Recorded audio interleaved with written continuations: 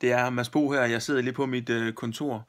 Julen nærmer sig, og hvis du på samme måde som mig kunne tænke dig at komme helskinnet igennem julen, så se lige med her, hvor jeg vil give et par af mine bedste tips og tricks.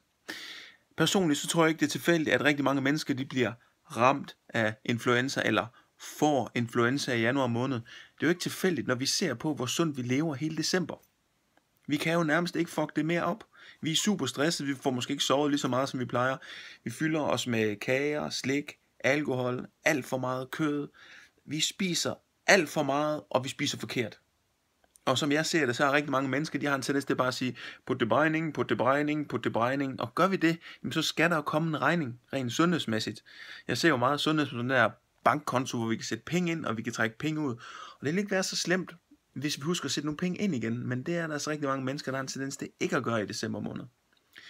Og som jeg ser det, så skal vi ikke være fanatiske. Vi skal ikke være ekstreme. Vi skal netop leve et balanceret liv. Øhm, så, så jeg vil gerne slå et slag for at, at booste den her, den her sundhedskonto på. Og nogle meget, meget nemme måder at gøre det på, det er for eksempel ved at gå en tur.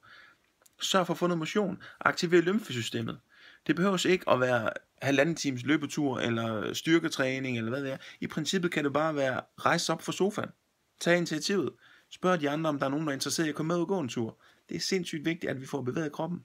Så ilt er faktisk det absolut vigtigste næringsstof. Det andet vigtigste, det er vand, og vi hører det hele tiden. Drik vand, drik vand, drik vand. Men det anbefales altså at drikke mellem 2 og 3 liter vand om dagen, og det er særlig vigtigt i december måned. Og har du nu været på druk og været ude og drikke til en eller anden julefrokost, så sørg for at få en masse vand, inden du går i seng om aftenen eller natten, afhængig af hvor lang den julefrokost den er Øh, en af grunden til, at vi får hovedpine, det er oftest fordi, at vores hjerne faktisk er dehydreret, så husk at få noget vand. Det er sindssygt vigtigt.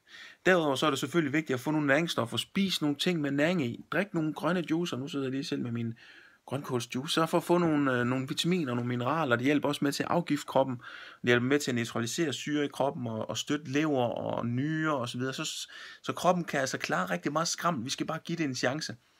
Øh, så, så ilt, sindssygt vigtigt. Vand er sindssygt vigtigt. Friskpresset juice er også en genial måde, og det kunne også være spisgrøntsager. Derudover så vil jeg anbefale dig at huske din nattesøvn, og hvis ikke du får sov om natten, så sørg for at få noget søvn i løbet af dagen. Tag en morfar, sov til middag. Øh, der sker rigtig mange vigtige processer, når vi sover. Så, øh, så husk at få søvnen med. Øh, og så vil jeg sige, i forhold til det der med at se sundhed som den der sundhedsbankkonto, så øh, når I så spiser ting, I godt ved, der ikke er sundt for jer, så nyd det virkelig. Så når I spiser hvid chokolade med lakrids som min favorit, så nyd det, så sig, wow, mm, virkelig. Og så derudover husk at spise sundt, altså få nogle grøntsager og knække nogle nødder, pille nogle appelsiner. Øh, altså der er jo også masser af sunde ting i hele den her december måned. Det handler jo nogle gange også bare om at vælge. Ikke?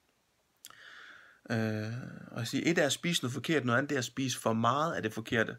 Så, øh, så, så kan du godt lide at spise lidt juleslik og lidt chokolade og sådan nogle ting. Jamen det er jo super fint. Bare spis det i fornuftige mængder. Det er det, det handler om. Så kroppen også får en chance. Så lad være med at være ekstrem, lad være med at være fanatisk. Nyd julen rigtig meget. Pas på hinanden og have det godt.